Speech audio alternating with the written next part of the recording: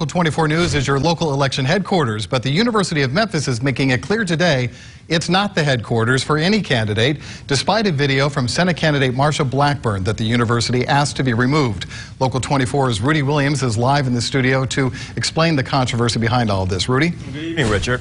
It's illegal for state-supported schools to endorse any political candidate, but this video posted Friday on Marsha Blackburn's Facebook page gives the impression U of M cheerleaders support her. Here's a look at the video. Marsha, Marsha, Marsha!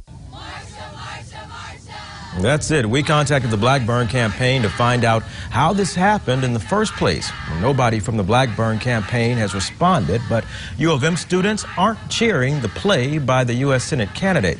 One student wrote a letter to university leadership citing a federal election law violation. She goes on to say Representative Blackburn has grossly manipulated the university and its students for her personal gain. This offense does not solely affect the student body, but it also has an impact on the larger Memphis community. Now, for their part, U of M issued this statement in part saying U of M spirit squads do not endorse any candidates for political office in accordance with U of M policies.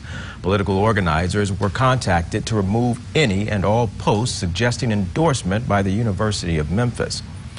Well, Blackburn has since removed the video from her Facebook page, but critics say since she started in politics back in 1989, she should have known better than to involve students who did not. I'm live in the studio tonight. Rudy Williams, Local 24 News.